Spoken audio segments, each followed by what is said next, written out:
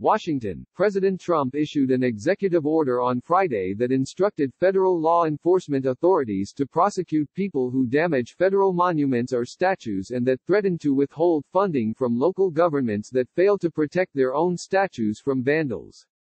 The order, which Mr. Trump announced on Twitter, comes as he seeks to seize on a cultural divide in the United States during his re-election campaign, suggesting that Democrats are waging an assault on the nation's history.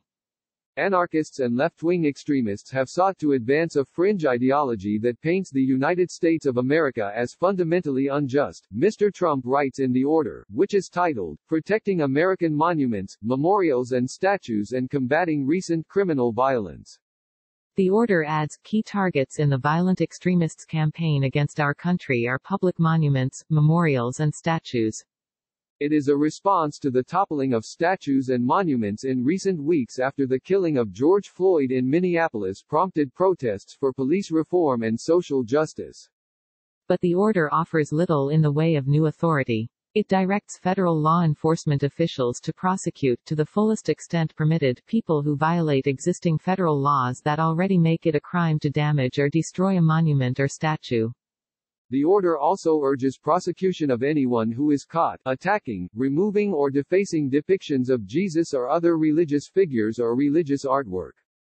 Protesters across the country have knocked down monuments, mostly of Confederate generals.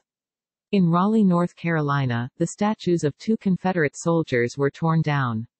And in San Francisco, a crowd toppled a bust of Ulysses S. Grant, despite the fact that he was a Union general who beat the Confederate Army.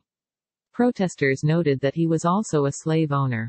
In Washington, protesters knocked over a statue of Albert Pike, the only Confederate general honored in the city, and they tried, unsuccessfully, to take down a statue near the White House of Andrew Jackson, the nation's seventh president.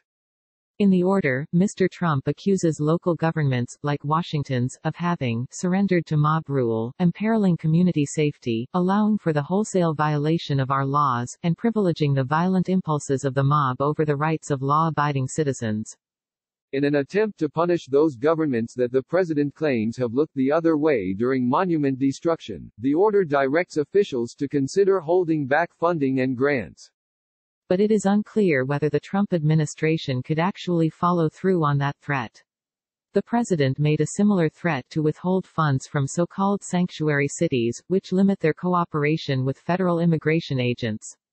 This year, an appeals court blocked it.